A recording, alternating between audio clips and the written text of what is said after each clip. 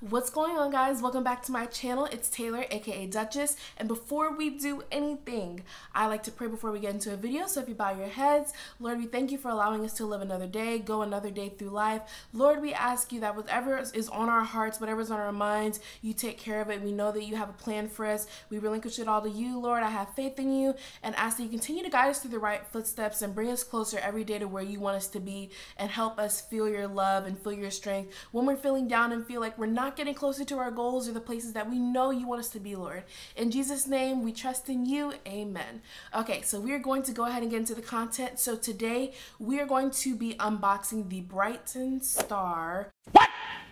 ultra wide camera lens and so this is the lens we have right here. And so in the last unboxing video, we unboxed the Sony ZV-E10. And so with the specific kit I got, it came with the body of the camera, but it did not come with the lens. So we have the cap right here and this is the part where the lens is supposed to go. So if you've been looking at my video that I just posted, the welcome video um, for my gaming channel with you guys, this um, was not used to record it because I did not have the lens yet, but we finally got it. So I'm going to unbox it for you guys and I'm gonna skip the part where I try and fight for my life with taking this plastic off. So let's go ahead and get into it. Okay, so we've now gotten it out of the plastic, so let's go ahead and take it out.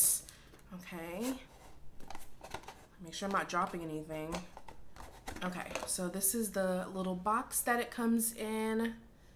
Okay, and let's go. It actually has a little tab to pull this out, so we're gonna go ahead and pull that out.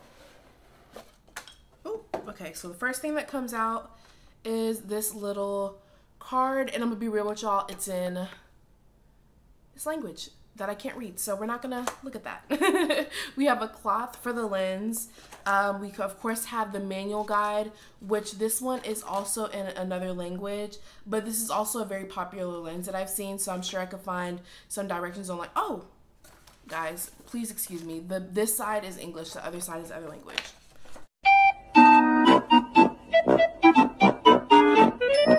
Ignore me, y'all. Okay, so now it's time to get into the actual lens. Okay, so let's see what it's looking like. I'm super excited because this means I get to actually record content for you guys in better quality than my stinking phone.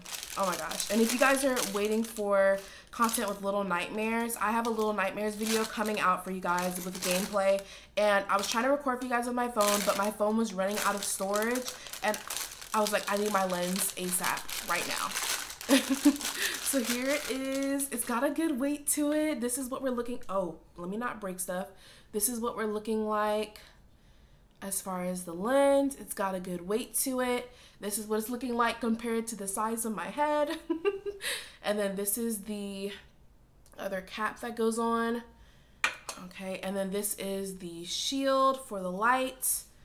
All right, let me not break it. I'm gonna go ahead and put it on the camera and see what we're looking back and then I'll come back to you guys.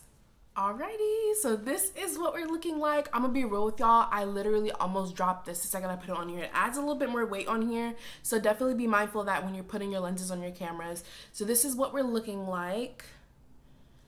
Okay, and then we can go ahead and actually take this off. And there we go. There's the lens. Let me go ahead and turn the camera on.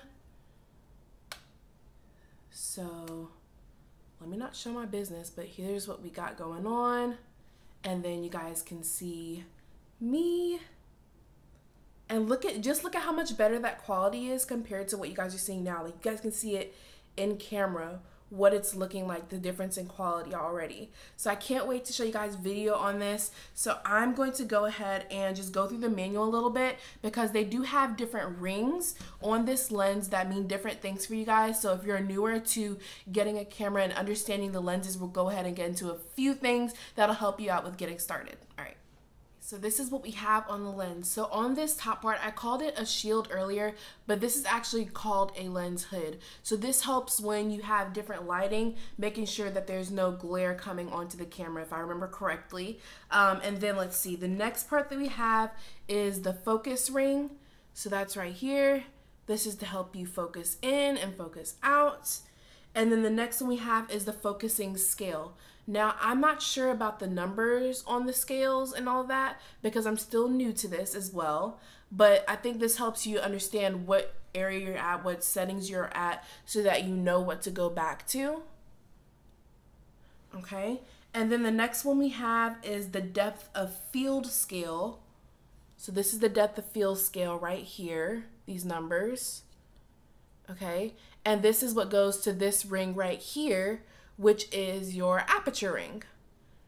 All right, and then the last part, of course, this is not the lens mount right here. This covers this part of the lens, but then this part is your lens mount, which as I told you guys before, goes directly into this part right here, which to help you guys, if you're lining it up, there's this little red dot here, which corresponds to this white dot.